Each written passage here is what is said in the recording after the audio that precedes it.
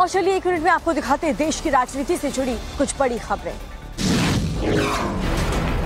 लोकसभा चुनाव में अब चंद महीने बाकी हैं, लेकिन सीटों को लेकर इंडी गठबंधन में घमासान और बढ़ गया है। टीएमसी नेता कुणाल घोष ने कांग्रेस को बीजेपी का दलाल बता दिया।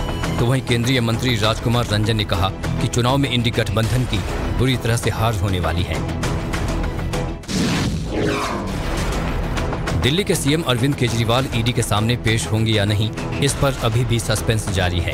आम आदमी पार्टी ने कहा है कि इस पर कानूनी सलाह लेने के बाद ही कोई फैसला लिया जाएगा।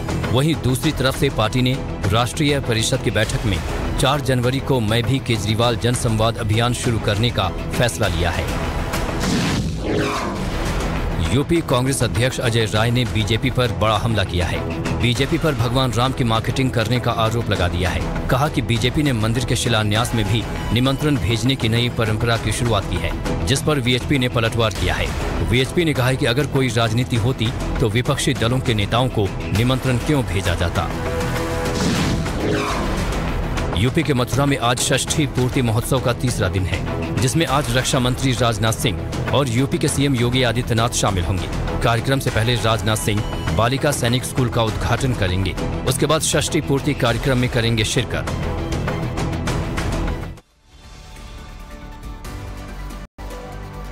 और चलिए अब आपको दिखाते हैं देश की कौन सी आज की सबसे बड़ी खबरें हैं वो भी एक मिनट। विश्व हिंदू परिषद ने प्राण प्रतिष्ठा से पहले विशेष अभियान की शुरुआत कर दी है। अक्षत निमंत्रण अभियान के तहत वीएचपी देश के हर घर तक अक्षत पहुंचाकर न्योता देगा। आज से हर दुकान राम, हर प्रतिष्ठान राम और हर घर राम अभियान का भी आगाज़ होगा। पिछले साल इसरो ने चंद्रयान की सफल लॉन्चिंग कर दुनिया को भारत के स्पेस एजेंसी की ताकत दिखाई थी और इस बार साल के शुरुआत में भी इसरो नया इतिहास रचने वाला है। ISRO P S L V C five eight XPoSat को श्री हरिकोटा के सतीश धवन स्पेस सेंटर से लॉन्च करेगा, जो अंतरिक्ष में होने वाली रेडिएशन की स्टडी करेगा। सैटेलाइट लॉन्च से पहले एस सोमनाथ ने मंदिर में जाकर पूजा भी की। भारत समेत दुनिया भर में नए साल का रंगारंग अंदाज में जश्न मनाया गया। दिल्ली से लेकर गोवा और शिमला, मनाली तक लोग जमकर झूमे। वाराणसी में विशेष गंगा आरती भी की गई। नए साल को देखते हुए सुरक्षा के पुख्ता इंतज़ाम रहे।